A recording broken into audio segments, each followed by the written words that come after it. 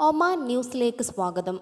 ഒമാനിലെ വാർത്തകൾ വേഗത്തിലും കൃത്യതയിലും അറിയാൻ ഈ ചാനൽ സബ്സ്ക്രൈബ് ചെയ്യൂ. ഒപ്പം തന്നെ തൊട്ടടുത്തുള്ള ബെൽ ബട്ടൺ കൂടി എനേബിൾ ചെയ്യൂ. ബജറ്റ് വിമാന കമ്പനിയായ എയർ അറേബ്യ ഈജിപ്റ്റ് ഒമാനിലേക്ക് സർവീസ് ആരംഭിച്ചു.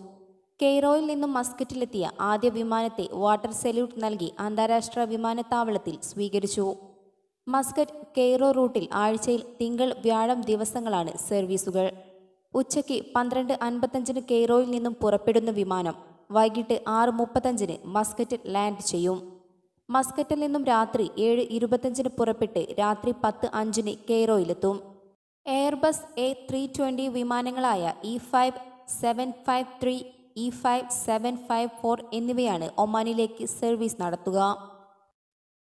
ദോഫാർ ഗവർണറേറ്റിൽ വലിയ തോതിൽ മയക്കുമരുന്ന് പിടിച്ചെടുത്ത് Royal Oman Police Coast Guard വിഭാഗം നടത്തിയ പരിശോധനയിൽ ഏഴായിരത്തി മുന്നൂറ്റി അറുപത്തിമൂന്ന് പാക്കറ്റ് ഗട്ട് മയക്കുമരുന്ന് പിടികൂടി. രണ്ട് ബോട്ടുകളിലായാണ് രാജ്യത്തേക്ക് മയക്കുമരുന്ന് കടത്താൻ ശ്രമിച്ചത്.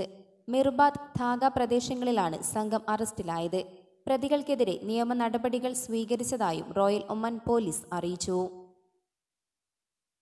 സാങ്കേതിക തകരാറിനെ തുടർന്ന് ഒമാൻ ഉൾക്കടലിൽ ഒഴുകി നടക്കുകയായിരുന്ന ചരക്ക് കപ്പലിന് ഇന്ത്യൻ നാവികസേനയുടെ സഹായഹസ്തം.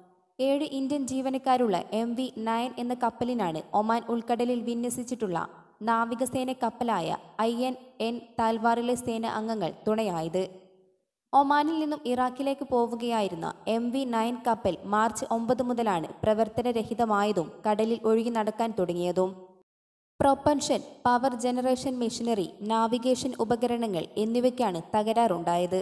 വ്യാഴാഴ്ചയാണ് എം വി നയനിൽ നിന്നുള്ള രക്ഷാ സന്ദേശം ഐ എൻ എസ് തൽവാറിന് ലഭിക്കുന്നതെന്ന് ഇന്ത്യൻ പ്രതിരോധ മന്ത്രാലയം അറിയിച്ചു. വടക്കൻ ബാത്തിന ഗവർണറേറ്റിൽ വിവിധ മോഷണ കേസുകളിൽ പ്രതിയായ ആൾ അറസ്റ്റിലായി. മജാൻ പോലീസ് സ്റ്റേഷനിൽ രജിസ്റ്റർ ചെയ്ത എട്ട് മോഷണ കേസുകളിലെ പ്രതിയാണ് പിടിയിലായത്. ഒമാനിലെ രാത്രികാല വ്യാപാര വിലക്കിൽ നിന്നും ചില മേഖലകൾക്ക് ഇളവ് നൽകി സുപ്രീം കമ്മിറ്റി. ഹോം ഡെലിവറി ഇന്ധന സ്റ്റേഷനുകളിൽ പ്രവർത്തിക്കുന്ന ടയർ വിൽപ്പന ടയർ അറ്റകുറ്റപ്പണി സ്ഥാപനങ്ങൾ എന്നിവയ്ക്ക് തുറന്നു പ്രവർത്തിക്കാൻ സാധിക്കും. വിലക്ക് രണ്ടാഴ്ച പിന്നിട്ട സാഹചര്യത്തിലാണ് ചില മേഖലയിൽ ഇളവ് അനുവദിച്ചിരിക്കുന്നത്. ഹോം ഡെലിവറി സൗകര്യമൊരുക്കുന്ന റെസ്റ്റോറന്റുകൾക്കും ഫുഡ് സ്റ്റഫ് കടകൾക്കും രാത്രി സമയങ്ങളിലും പ്രവർത്തിക്കാമെന്നും അധികൃതർ അറിയിച്ചു. വിവിധ ഗവർണറേറ്റുകളിൽ ഹോം ഡെലിവറി സൗകര്യങ്ങളോടെ പ്രവർത്തിക്കുന്നവയാണ് ഭൂരിഭാഗം ഹോട്ടലുകളും റെസ്റ്റോറന്റുകളും രാത്രി വൈകിയും ഫുഡ് സ്റ്റഫ് കടകളുടെ സേവനം ഉപയോഗപ്പെടുത്താൻ സാധിക്കുന്നത് ജനങ്ങൾക്ക് ആശ്വാസം പകരും. പകർച്ചവ്യാധി രോഗ വ്യാപനത്തിന്റെ അടിസ്ഥാനത്തിലാണ് മാർച്ച് നാല് മുതൽ ഒമാനിലെ മുഴുവൻ ഗവർണറേറ്റുകളിലും രാത്രി വ്യാപാര വിലക്ക് പ്രാബല്യത്തിൽ വന്നത്. രാത്രി എട്ട് മണി മുതൽ പുലർച്ചെ അഞ്ച് മണി വരെയാണ് വിലക്ക്. മാർച്ച് ഇരുപത് വരെ നിയന്ത്രണങ്ങൾ തുടരും. റെസ്റ്റോറന്റ് കഫേ വിനോദസഞ്ചാര സ്ഥാപനങ്ങൾ ഹോം ഡെലിവറി ഉൾപ്പെടെയുള്ളവയ്ക്കും വിലക്ക് ബാധകമായിരുന്നു. എന്നാൽ പെട്രോൾ സ്റ്റേഷൻ ആരോഗ്യ സ്ഥാപനങ്ങൾ സ്വകാര്യ ഫാർമസികൾ എന്നിവയെ നിയന്ത്രണത്തിൽ നിന്നും ഒഴിവാക്കിയിട്ടുണ്ട്. അതേസമയം സുപ്രീം കമ്മിറ്റി ഏർപ്പെടുത്തിയ രാത്രികാല വ്യാപാര വിലക്ക് മുഴുവൻ മേഖലകളിലും പൂർണമായും പാലിക്കപ്പെടുന്നുണ്ട്. ഇത്തരം കച്ചവട സ്ഥാപനങ്ങൾക്ക് അധികൃതർ അഭിനന്ദനങ്ങൾ രേഖപ്പെടുത്തിയിരുന്നു. നഗരത്തിൽ ഇതുവരെയും നിയമലംഘനങ്ങൾ റിപ്പോർട്ട് ചെയ്തിട്ടില്ല. നഗരസഭയുടെ നേതൃത്വത്തിൽ വ്യാപക പരിശോധനയും നടന്നുവരുന്നുണ്ട്.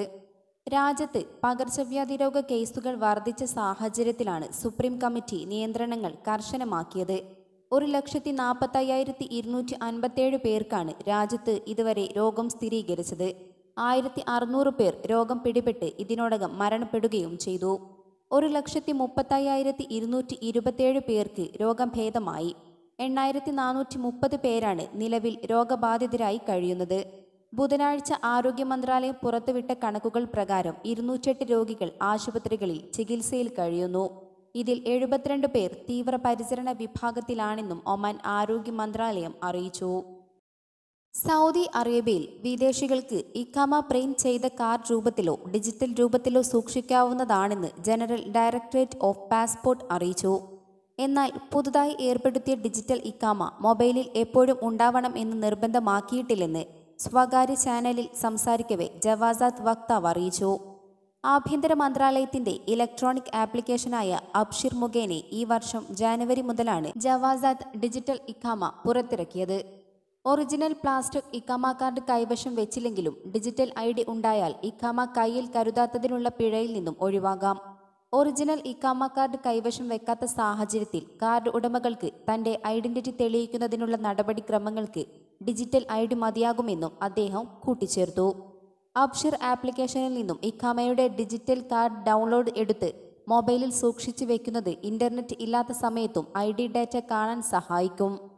നാഷണൽ ഇൻഫർമേഷൻ സെന്ററുമായി സഹകരിച്ച് ജവാസാത്ത് വിഭാഗം നടപ്പാക്കിയ ഡിജിറ്റൽ ഐ ഡി പദ്ധതി വ്യക്തികളുടെ ഡിജിറ്റൽ രേഖ പരിവർത്തന പ്രക്രിയയുടെയും ഇലക്ട്രോണിക് ഇടപാടുകളുടെയും വികസനത്തിൽ ഒരു വഴിത്തിരിവാകുമെന്നും ബന്ധപ്പെട്ടവർ അറിയിച്ചു. വിദേശികളുടെ ഇഖാമ കാർഡ് ഡിജിറ്റൽ രൂപത്തിലാക്കിയതുപോലെ സ്വദേശികളുടെ തിരിച്ചറിയൽ കാർഡും ഡിജിറ്റൽ രൂപത്തിലേക്ക് മാറ്റുന്ന നടപടികൾ തുടങ്ങിയതായി ആഭ്യന്തര മന്ത്രാലയത്തിലെ സാങ്കേതിക കാര്യ സഹമന്ത്രി അറിയിച്ചു. ഭാവിയിൽ സ്വദേശികളുടെയും വിദേശികളുടെയും ഐഡന്റിറ്റി കാർഡ് ഡ്രൈവിംഗ് ലൈസൻസ് വാഹന രജിസ്ട്രേഷൻ തുടങ്ങിയവയുടെ പ്രിന്റ് ചെയ്ത കാർഡുകൾ വഹിക്കേണ്ട ആവശ്യം വരില്ലെന്നും അവയെല്ലാം ഡിജിറ്റൽ രൂപത്തിലേക്ക് മാറ്റുമെന്നും അദ്ദേഹം കൂട്ടിച്ചേർത്തു. കുവൈറ്റിൽ കർഫ്യൂ ലംഘിച്ചതിന് മുപ്പത്തഞ്ച് പേർ പിടിയിലായി. പതിനൊന്ന് വിദേശികളാണ് പിടിയിലായത്. ഇരുപത്തിനാല് കുവൈറ്റികളും കർഫ്യൂ ലംഘിക്കുന്ന വിദേശികളെ നാടുകടത്തുമെന്നും സ്വദേശികൾക്കെതിരെ നിയമ നടപടികൾ സ്വീകരിക്കുമെന്നും ആഭ്യന്തര മന്ത്രാലയം മുന്നറിയിപ്പ് നൽകി. ക്യാപിറ്റൽ ഗവർണറേറ്റിൽ മൂന്ന് പേർ ഹവല്ലി ഗവർണറേറ്റിൽ ഒമ്പത് പേർ ഫർവാനിയ ജഹ്റ ഗവർണറേറ്റുകളിൽ മൂന്ന് പേർ വീതം മുബാറക് അൽ കബീർ ഗവർണറേറ്റിൽ രണ്ടു പേർ അഹമ്മദി ഗവർണറേറ്റിൽ പതിനഞ്ച് പേർ എന്നിങ്ങനെയാണ് അറസ്റ്റിലായത്. സൗദി അറേബ്യയിൽ മന്ത്രി വകുപ്പ് മേധാവി തലപ്പത്ത് അഴിച്ചുപണി. വെള്ളിയാഴ്ച വൈകുന്നേരമാണ് സൗദി ഭരണാധികാരി സൽമാൻ രാജാവ് രാജകീയ ഉത്തരവുകൾ പുറപ്പെടുവിച്ചത്. ഹജ് ഉംറ മന്ത്രിയുടെ ചുമതല doctor Aswam bin Saad bin സായിദിന് നൽകി. ഡോക്ടർ മുഹമ്മദ് ബിൻ സ്വാലഹ് ബിന്ദനെ ഒഴിവാക്കിയാണ് ഡോക്ടർ അസ്വാമിനെ നിയമിച്ചത്. നിലവിലെ സ്റ്റേറ്റ് മന്ത്രി മന്ത്രിസഭാംഗം കൂടിയാണ് അദ്ദേഹം. രണ്ടായിരത്തി പതിനാറ് മുതൽ രണ്ടായിരത്തി പതിനേഴ് വരെ സിവിൽ സർവീസ് മന്ത്രിയുടെ ചുമതലയും വഹിച്ചിട്ടുണ്ട്. രണ്ടായിരത്തി പതിനഞ്ചിൽ ഭവനമന്ത്രിയായിരുന്നു. സിവിൽ ഏവിയേഷൻ അതോറിറ്റി ചെയർമാൻ സ്ഥാനത്ത് നിന്നും Abdul Hadi bin Ahmed Al മൻസൂരിയെ മാറ്റി. പുതിയ ചെയർമാനായി മന്ത്രി പദവിയിൽ Abdul Aziz bin Abdullah Al ദുയിലൈജിനെ നിയമിച്ചു. Abdul Hadi bin Ahmed Al മൻസൂരിയെ വിദേശകാര്യ എക്സിക്യൂട്ടീവ് കാര്യ അസിസ്റ്റന്റ് മന്ത്രി പദവിയിൽ നിയമിക്കുകയും ചെയ്തു. കുവൈറ്റിൽ കർഫ്യൂ വൈകിട്ട് അഞ്ച് മണി മുതൽ പുലർച്ചെ അഞ്ച് മണി വരെയാണെങ്കിലും കടകൾ തുറക്കാൻ അനുമതിയുള്ളത് വൈകിട്ട് നാലു മണി വരെ മാത്രം. നാലു മണിക്ക് ശേഷം തുറന്നു പ്രവർത്തിക്കുന്ന വ്യാപാര സ്ഥാപനങ്ങൾക്കെതിരെ നിയമ നടപടികൾ സ്വീകരിക്കുമെന്ന് അധികൃതർ മുന്നറിയിപ്പ് നൽകി. ഇത്തരത്തിൽ നിരവധി സ്ഥാപനങ്ങൾക്കെതിരെ വെള്ളിയാഴ്ച നടപടി സ്വീകരിച്ചു. നാല് കഴിഞ്ഞ് പത്ത് മിനിറ്റുകൾക്കുള്ളിൽ ഫർവാനിയയിൽ ഏതാനും സ്ഥാപനങ്ങൾ പൂട്ടിച്ചു. പ്രഖ്യാപിത കർഫ്യൂ സമയമായ വൈകിട്ട് അഞ്ചു മണിക്ക് വാഹനങ്ങൾ ഗതാഗത ഗതാഗതക്കുരുക്കിൽപ്പെട്ട് റോഡിൽ തുടരുന്ന സ്ഥിതിയാണുള്ളത്. അതേസമയം വൈകിട്ട് നാല് മണിക്കെങ്കിലും സ്ഥാപനങ്ങൾ അടച്ചാലേ അഞ്ചോടെ ആളുകൾ താമസ സ്ഥലത്ത് എത്തി പൊതുസ്ഥലങ്ങൾ ഒഴികെയുള്ളൂ എന്നതിന്റെ അടിസ്ഥാനത്തിലാണ് വ്യാപാര സ്ഥാപനങ്ങളുടെ പ്രവർത്തന സമയം കുറച്ചത്. ഇതോടെ ഇന്നത്തെ വാർത്തകൾ അവസാനിക്കുന്നു. പുതിയ വാർത്തകളുമായി വീണ്ടും കാണുന്നതുവരെ നന്ദി നമസ്കാരം.